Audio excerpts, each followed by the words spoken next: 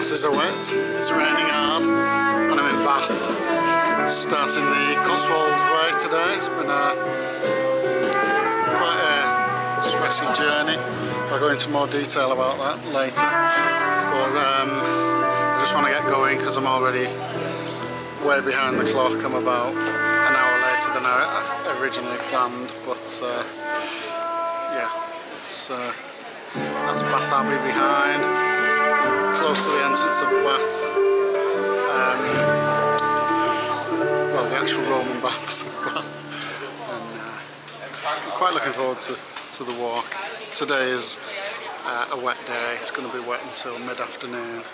But other than that, um, the weather forecast is good for the rest of the walk. So uh, we'll see what happens. And uh, I'll sure to keep you in touch and keep you abreast of uh, all developments. But uh, for now, I will get myself going.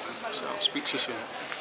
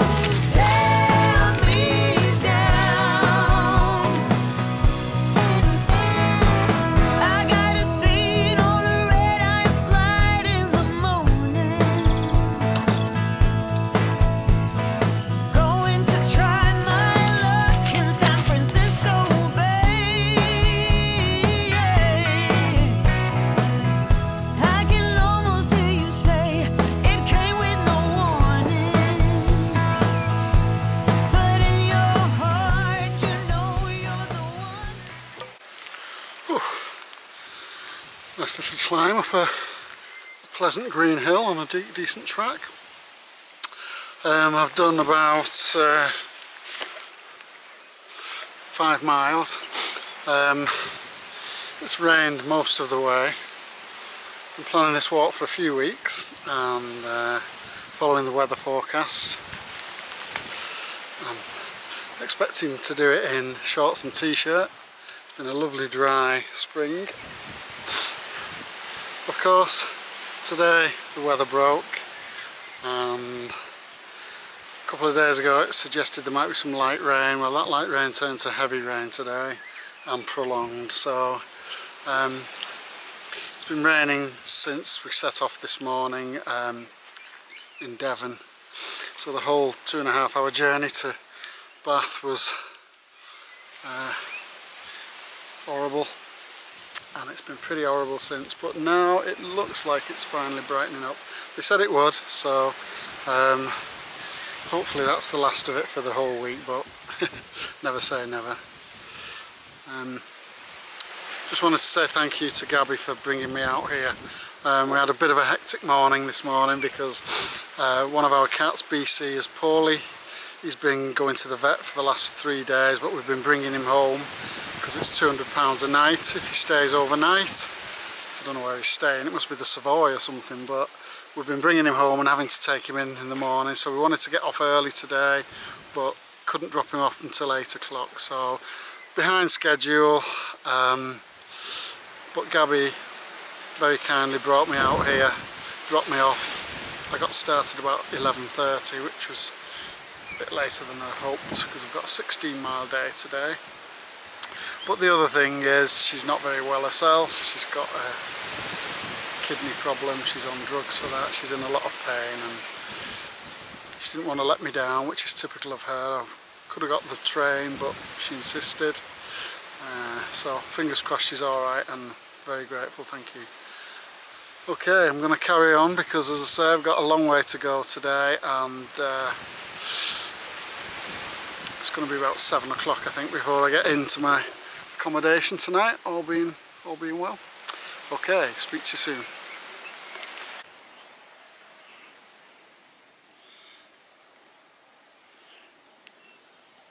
It's Bath Racecourse. cracking,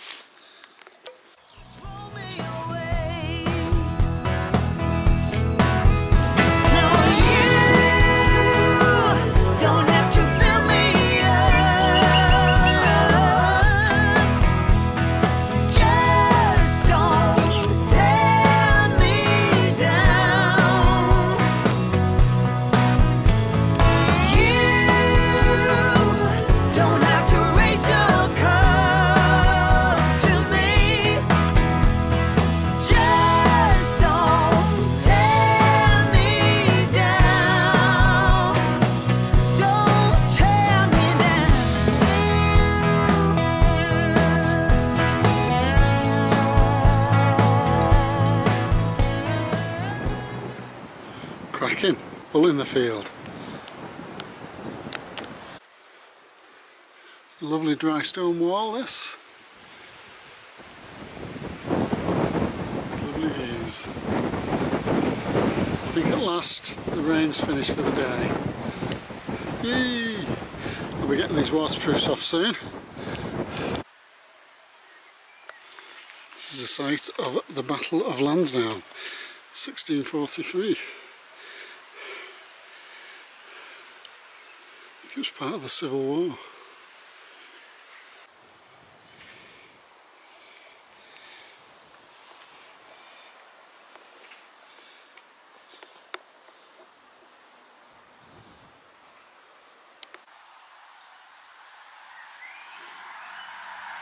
More information relating to the Battle of Lansdowne, Lansdowne 1643.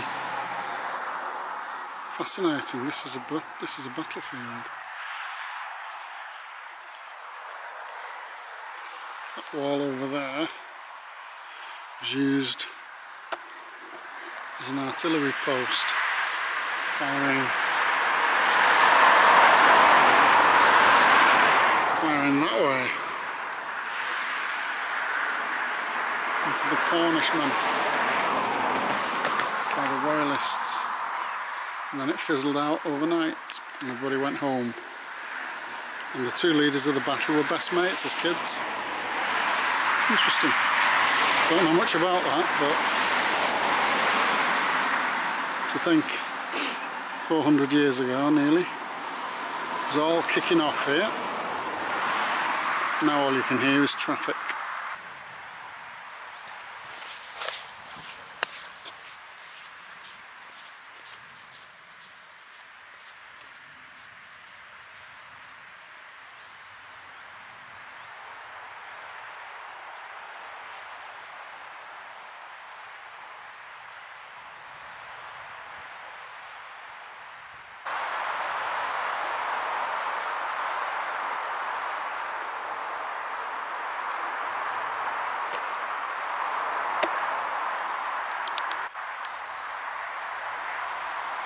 This is the monument to Sir Bevil Grenville who was killed here at the Battle of Lansdowne. He was a royalist commander.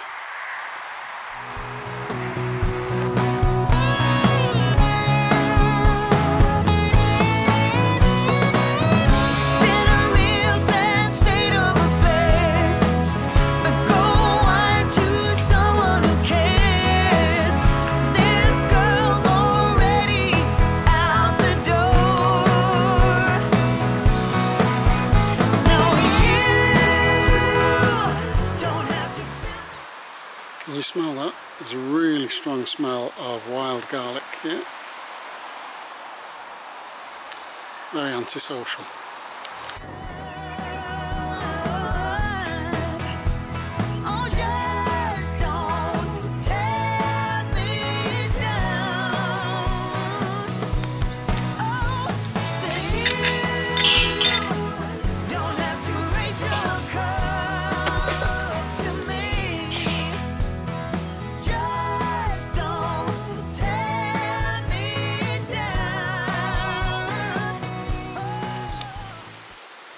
There's Margaret and Tony. Say hello. Hello there. They're doing the Cotswolds way along with me, but uh, they're the first people I've met today, so I just thought to say hello. Hello. Just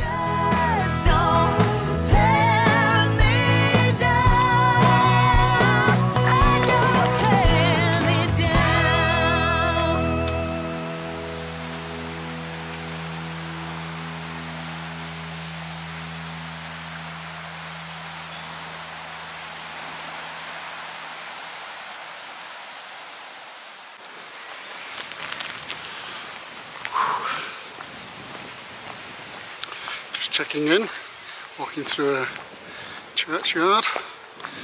Uh, pretty tired now, I've done 10 or 11 miles. Um, thankfully it's been dry for the last four or five. Um, but I've still got six or seven to go. Um, I'm staying behind the Compass Inn tonight in Tormarton. You let you camp there for 10 quid and you can use the toilet facilities. That's about it really. No, no showers and things like that, but at least I'm in. And there is a restaurant there, but they've just told me fi final orders at the restaurant are 8.30 and I'm going to be pushing it. I think at the earliest I'll be there for about 8. Uh, so how I'll get my stuff up and then get into the restaurant, I don't know. Unless I order it and then put my tent up and go in stinking like a pig. But we'll see what happens. I've got food that I can heat up and have some warm food if I need to. Um, so it's all good. No issues. My feet are hurting though. My ankles are very sore. Sort of arthritic. I'm going to put some uh, ibuprofen gel on them tonight I think. Let that soak into the joints. But it's been a good day after a, a poor start. Heard from Gabby she's home okay which I'm pleased about. Not heard about the cat yet but I'll check in in an hour or so about see how he's getting on and how Gabby is as well so. Speak to you soon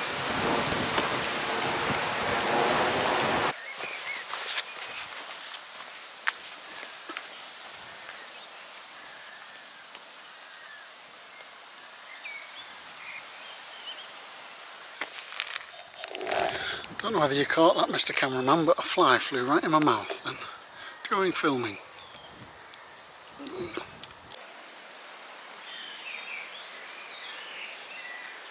It's all wild garlic. I think it's garlic anyway.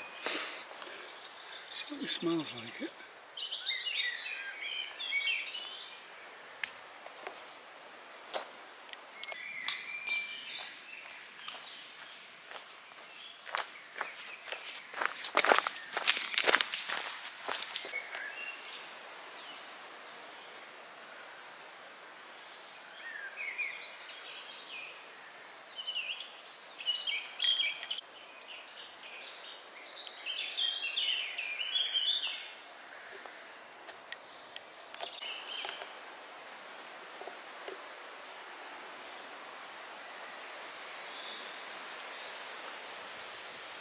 for me here. I think I'm just about going to make. Unlucky Mr. Bolt.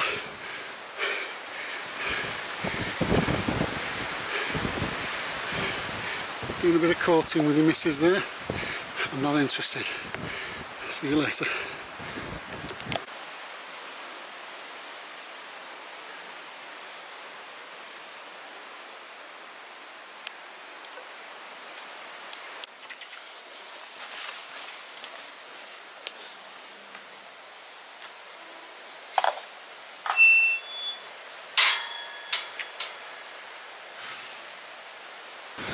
You might have noticed, if you've been observant, that I'm sporting a new rucksack today. Um, I've dropped the uh, Osprey Exos 48 for this trip and I'm using the Montane Trailblazer 44. Fascinating stuff. but um, it's quite popular this rucksack uh, because it's sort of um, a hybrid between a, a running sack and uh, and a backpacking sack but it is much lighter than the other one. Um, it's only four litres less in description but it feels a lot smaller. It feels 10 at least 10 litres less than the Exos. Perhaps shows how good the Exos really is. Um,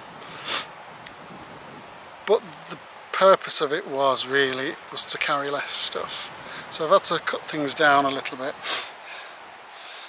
My last walk on the southwest coast path was dogged by a very heavy rucksack on a lot of steep hills. Thankfully the hills aren't so bad here. But I've jettisoned certain things like footwear for the evening um, thermal pyjamas uh, my water filter which is quite heavy. I might regret some of them. If it's cold at night or I'm particularly thirsty and I need a drink. But if you don't try and manage without these things you just keep piling them in and hauling them up these hills and uh, it takes the enjoyment out of it. So this feels a lot more comfortable. Right about a mile or two back um, at a junction there was a sign saying um, Cotswolds Way closed because of a police incident that's been investigated so you have to take an alternative route. So it pointed the direction that's the way I went. Anyway when I was going down there I uh, the phone went and I was talking to Gabby checking out uh, the cat and her health situation and just having a catch up and I crossed the main A46 and went down a lane but I wasn't really concentrating. And uh, in the end I said I'm not really sure where I am. I'm gonna have to get off the phone Gabs and uh, I'll speak to you later. Anyway I wasn't happy with the way I was going. So I had to turn around and come all the way back. And now I've just walked up the A46 for about half a mile. The traffic is flying by. You're on grass verges where you're twisting your ankle and they're, they're not pathways at all. They're just rough ground with juggernauts going past. Not very pleasant anyway I got to a junction and there was a pub there so what am I going to do well I had a a soft drink, a pint because I'm thirsty and uh, looked at the map and I found another route now so I can find my way back to the Cotswolds Way if I'm diligent. So again I better get off here because I'll end up going wrong again. Um, so the final destination today seems to be getting further away, not nearer. But uh, there you go, it's one of those things. Need to be uh, on the ball all the time. Okie doke, I will uh, Speak to you soon. Bye for now. Yay! I'm back on the route. It's always a relief.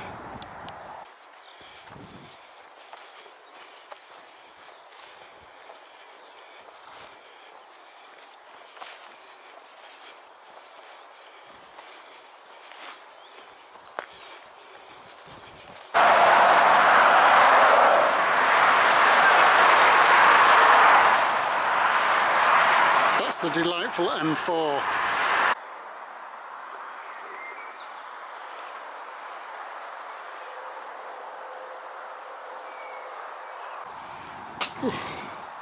It's been a long time and a long way, but I've arrived. This is where I'm staying tonight, hopefully in their back garden, where they allow you to pitch small feet.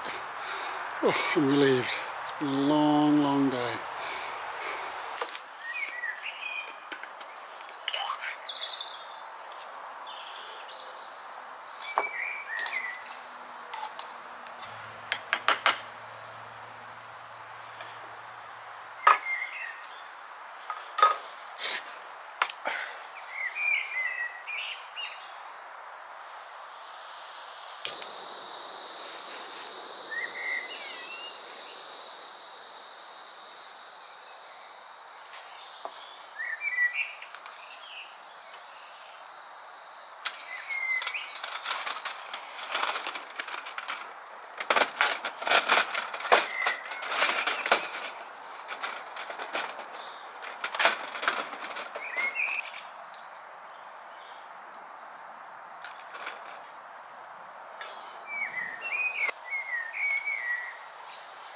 Who doesn't love sausage and beans?